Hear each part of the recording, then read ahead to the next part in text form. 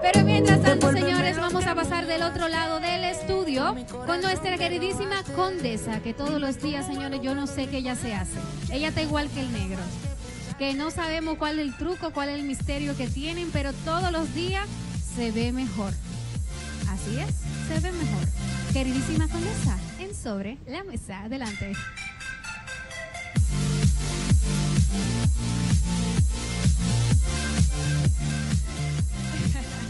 Gracias, Michelle. Buenas tardes. Buen provecho. Señores, los que me extrañaron hoy en, en abriendo la mañana, amanecí mal, grave de una migraña, pero gracias a Dios estoy ya un poquito mejor. Y aquí estoy en sobre la mesa. Discúlpeme los días que no he podido venir en- a sobre la mesa. Lamentablemente el trabajo, otro trabajo no me lo ha permitido. Pero ustedes me entienden, ustedes me comprenden. El mundo de la mujer de hoy en día, el pluriempleo. Bueno, señores, qué pena enterarme de que la joven que supuestamente se lanzó de un vehículo público ayer en la tarde, en la mañana, falleció. Daniela Sánchez Roa falleció. Sus familiares están pidiendo que las autoridades esclarezcan lo que pasó realmente. El conductor del vehículo, luego de Daniela caer al pavimento, se dio a la fuga. Lo capturaron. Está en manos de la justicia, de la Policía Nacional. Y no sé qué pensar realmente. Los accidentes pasan, eso es cierto. El conductor alega que cuando él estaba estacionándose en la avenida John F. Kennedy, porque ella tomó el vehículo en la Kennedy con Churchill, porque ella residía en el barrio Claret y trabaja en Downtown Center. Imagino que para coger un vehículo, que era lo- la, rutina que ella hacía diario, tomar el vehículo en la Churchill con Kennedy hasta la Núñez de Cáceres y en la Núñez de Cáceres tomar entonces otro vehículo, otro carro público hasta Downtown Center que está en la Bolívar, Rómulo Betancourt, esquina Núñez de Cáceres. Es una pena. Imagino que debe haber cámaras en esa área porque ya tenemos cámaras en muchos lugares y ese es un punto estratégico. Avenida Winston Churchill, esquina Kennedy, John F. Kennedy. Y vamos a ver qué pasa y qué arrojan las investigaciones. Paz al alma de Daniela, una joven de 29 años. Papá Dios le dé conformidad a la familia porque no es fácil y esperemos que se esclarezca lo que realmente pasó con este accidente, podríamos decir, en lo que nos dan el resultado de las investigaciones. Por otro lado, otro problema que hay que resolver es que supuestamente en Boca Chica todavía continúan vendiendo y captura- capturando y vendiendo el pez loro que está en veda. No se sabe si es indefinida o hasta qué tiempo. Lo cierto es que está en veda y eh, un reportaje del Diario Libre habla de que todavía siguen establecimientos vendiendo el pez loro. Por otro lado, y por ese mismo, eh, por ese mismo camino, fue Medio Ambiente quien emitió la resolución en donde se veda la captura del pez loro.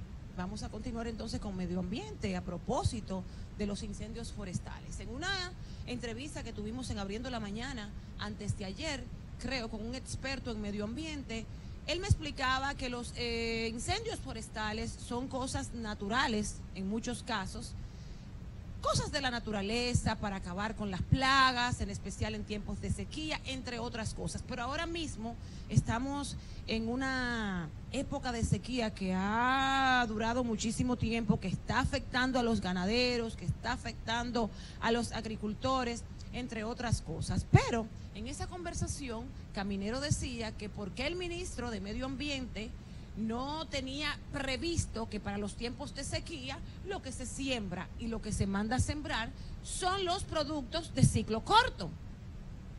Algo entendible. Yo vengo del campo, yo soy de Montecristi, mi padre biológico es agricultor, él siembra banano, también siembra arroz.